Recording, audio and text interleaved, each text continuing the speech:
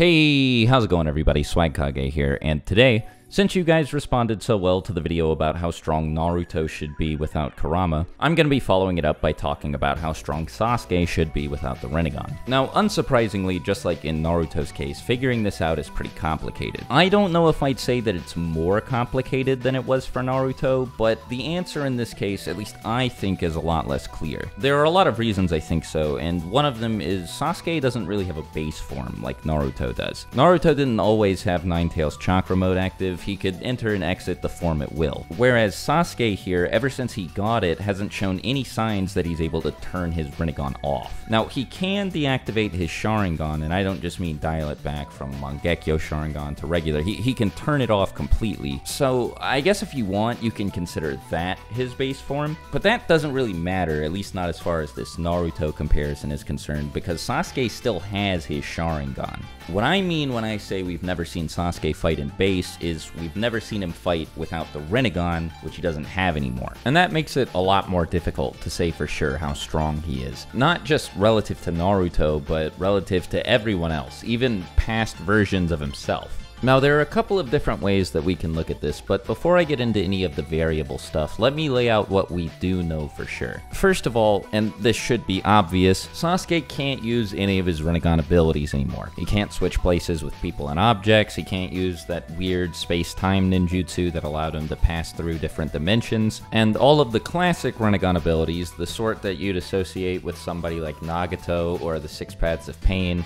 like Shinra Tensei, Chibaku Tensei, Universal pull, the ability to absorb chakra, all that stuff is out of his arsenal now too. Something else that I'm pretty sure most of you already know is that when Sasuke acquired this Rinnegan, it replaced the Sharingan that used to be there, but he still retained all of his Sharingan-based abilities. In other words, up until Boruto at least, this was the eye that Sasuke used to perform Amaterasu. And there are a lot of people who are under the impression that now that this eye is gone, Sasuke can't use Amaterasu anymore because his other eye, the one that's still just an Eternal Mangekyo Sharingan allowed him to use Kagutsuchi, or in the English dub, Inferno-style flame control. Based on what we know, this ability allowed him to manipulate the flames of Amaterasu, but only once they already existed. He couldn't create any black flames with this eye. But that seems to have changed in Boruto, because after he gets his Rinnegan stabbed out, Sasuke is shown using Amaterasu from his other eye, so even though it shouldn't work that way, and Sasuke shouldn't have access to any Mangekyo Sharingan powers anymore, he still does, he can still use both Amaterasu and Kagutsuchi, which is definitely weird, but like I said, it's just how it works now, I guess. So what we know from all of this is that Sasuke's arsenal and the utility he'd provide to any team while on the battlefield has been cut down drastically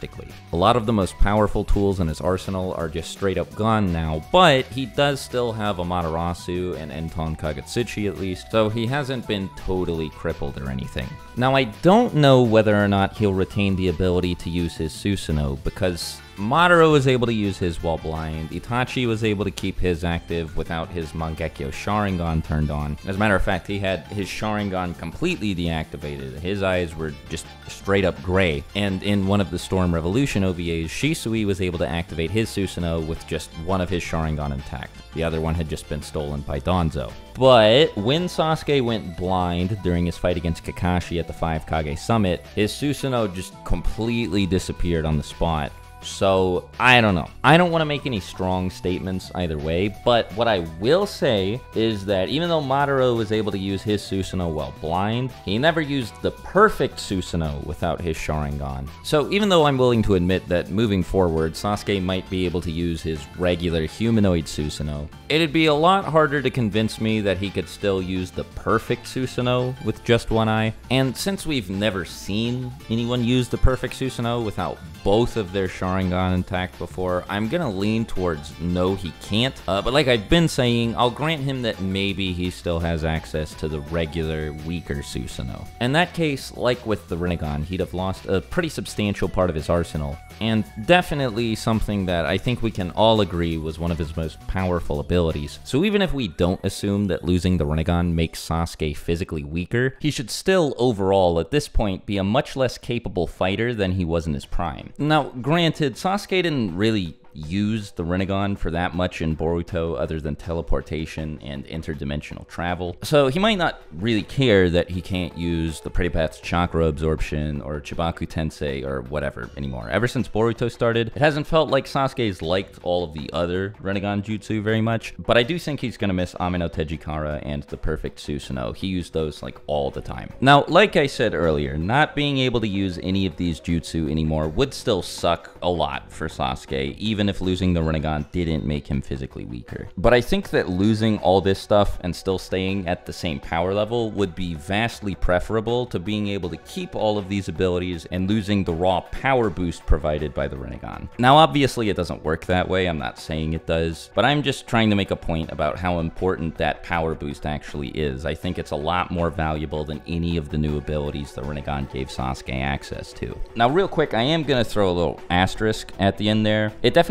depends on how much stronger you think the Rinnegan makes Sasuke, because obviously if it's just a minor like 5% power boost or whatever that's that's not a big deal. Being able to use Chibaku Tensei and the perfect Susanoo is probably a lot more valuable than that. But assuming the amp we're talking about here is that small or even minor by any stretch of the imagination is very optimistic for Sasuke. But to be as fair as possible to anyone who might disagree with me what I'm about to say isn't quite ironclad but I think it comes pretty close. There are a handful of statements from near the end of Shippuden that imply, and in some cases just about flat out say, that the Rinnegan makes anyone who wields it more powerful. And not in a strength through versatility kind of way, but in the sense that they get faster, their attacks hit harder, that sort of thing. When talking about one of Madara's Rinnegan, Obito says, even this one eye's chakra and ocular powers are so strong I started losing myself. Yet I, who am not its original owner, was able to accomplish this much with just one. Now, the most important part of that statement, in my opinion, is the part where he mentions the chakra, as if to say the chakra volume was so great, or the chakra of the Rinnegan was so powerful, or something to that effect, right? I think we can all agree that in one way or another, Obito was saying that this didn't just give him new abilities, it also came with its own massive supply of dormant chakra that he could freely use after implanting it. Or in other words, that having this Rinnegan made him more powerful. He also tells Sakura, again to directly quote him, if both Rinnegan are restored to their true owner, I feel no one will be able to stand against him. Keep in mind that after Madara got his second Rinnegan, the only new ability he gained access to was a better version of Limbo that allowed him to create more clones. And I guess Obito couldn't have really known that was going to be the case, but I don't think he expected it to give Madara access to new jutsu at all, really. I think that he was strictly talking about Madara's raw physical power when he said this to Sakura. The last thing of note that he says in this conversation is, with ocular powers, only with both eyes together can their full power be unleashed, which may or may not be that important because Sasuke is a bit of a special case where one of his eyes is an Eternal Mangekyo Sharingan and the other is Rinnegan. So this might not apply, but like I mentioned earlier in the video, Sasuke did use all of his Sharingan abilities through this Rinnegan, so it's totally possible that this statement applies to him as well. So what this would mean in the case of someone like Sasuke, or even in the case of Madara when he got his other Rinnegan back, is each eye amplifies the power of its owner by an unknown but observably significant amount. But together, the eyes provide a power boost that's greater than the sum of what they provide individually, uh, sort of like when Thanos put the last Infinity Stone in his gauntlet, right? Like, it's not like the Mind Stone was just way stronger than all of the other Infinity Stones, but rather it's that all of them had a unique trait where when they're used together, the power boost they provide to their user is much greater than when they're used individually. Now, getting back to the Rinnegan, Obito said all of this about Madara's Rinnegan, which I'd assume is weaker than Sasuke's was. Even just looking at them side by side, this seems to be the case, and it would also make sense since Sasuke got his directly from the Sage of Six Paths, while Madara acquired his through more natural means. Plus, this one Rinnegan took Sasuke from being weaker than a version of Madara with one Rinnegan and no Ten Tails to being stronger than that same Madara after he'd become the Jinchuriki of the Ten Tails. And I know saying that might be a little contentious,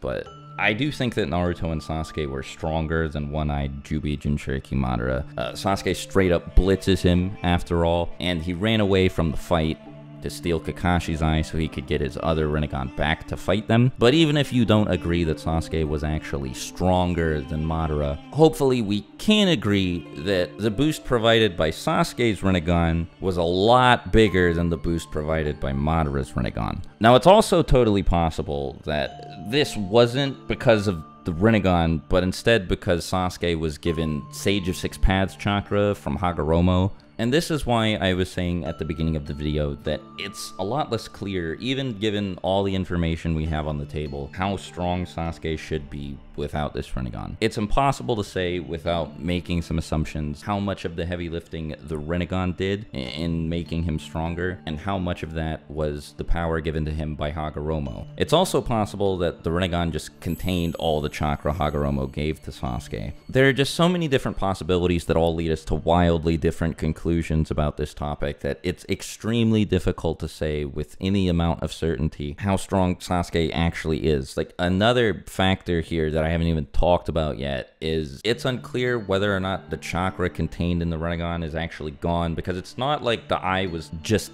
deleted, right? Like he still has it in his eye socket, it's just damaged. So if and this requires us to make a pretty big assumption to begin with. All of the chakra given to Sasuke by Hagoromo is stored in his Rinnegan, then we have to figure a couple things out. The first of which being, is the eye still functional in any capacity and is any of that chakra still there? Then we'd have to figure out if Sasuke can actually access any of the chakra. And then if the answer is still yes, we'd have to figure out exactly how many of the cells were destroyed, and then how many of the cells were damaged, to the extent that they can't provide his body any physical energy to make chakra, and then which of the cells are able to provide some physical energy, but not as much as they could before. Hopefully, you're starting to see why definitively answering this question is pretty much impossible. There's just too much we don't know about the way the Rinnegan works, and like I said at the beginning of the video, we've never seen Sasuke fight without it. That is, unless you count the time travel filler, which I'd prefer not to, since I'm talking about manga canon anyway anyway, and I don't even know if that filler is canon to the anime, so we're just gonna ignore it. In conclusion, there are a lot of different ways that you can interpret this, but in my opinion, just based off of what we know and